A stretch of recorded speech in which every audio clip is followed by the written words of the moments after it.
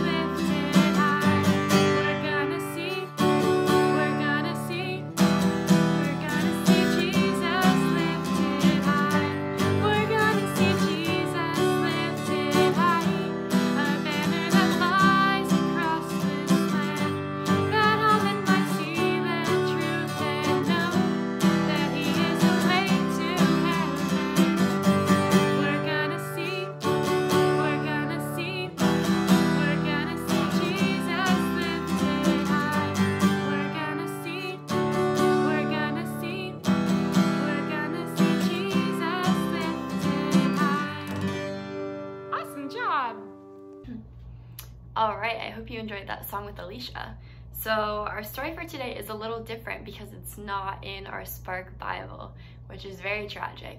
So instead, I have the real big Bible here with me, and so if you have one, you can go pull it out at home and follow along. We are in the book of John, which is a gospel, so it's in the second half of the Bible.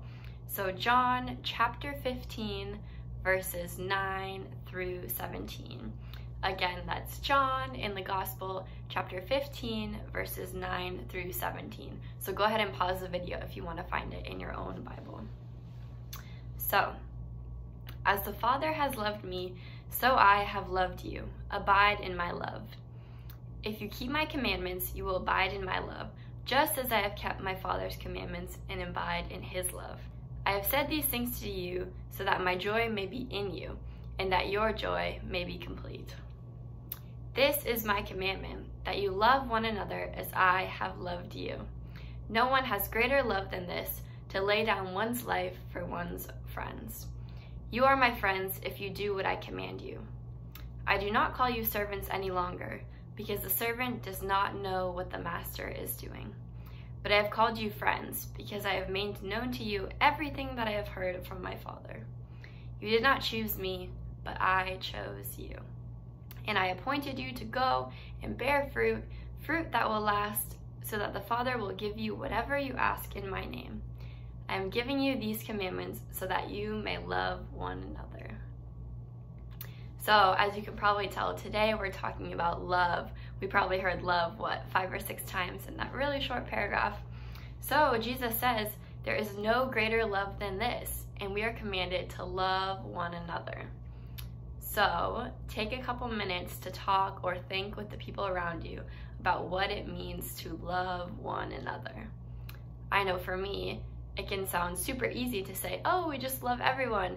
And then my brother or my sister does something annoying to me, or some car kind of cuts in front of me on the road and I get angry. So sometimes it's not always easy to love one another. So take a moment to talk about that with your family. All right, Faith Explorers, going along with the theme of love, we're gonna do a craft today that matches that theme. So go ahead and follow along here. Our craft today goes along with the theme of love, and this is something you might associate with Valentine's Day, but we are going to be writing love notes on post-it notes.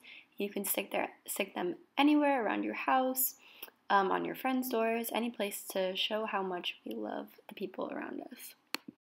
Alright, Faith Explorers, I hope you enjoyed that craft. We are finishing out our lesson today. We're going to say a prayer. And so remember, yet again, we have our two prayer boards. We have the good news board and the prayer request board online. So if you want, go and pause this video, go and add some things to those boards, and also see what people want us to pray for so that when it comes time to the prayer, you know how we can pray for those in our community.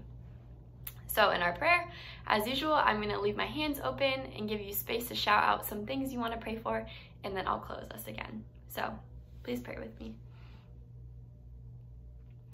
Awesome God, we know that you gather us together with love. And we know that this is a commandment of yours, but sometimes it can be so hard to love one another. God, give us the patience to persevere and to act in ways of love, even when it may be hard. And God, we would also like to pray for all these things that we say aloud now.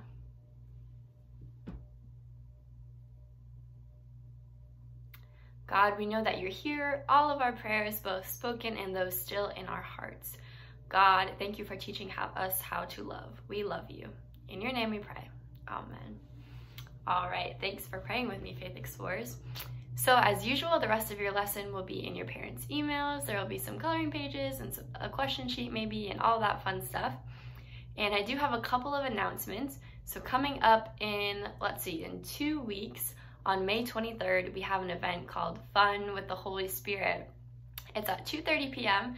and I really hope I'll be able to see you there. This event, we are going to be making our own kites and learning about how the Holy Spirit is in the air and is working through us and it is gonna be really fun.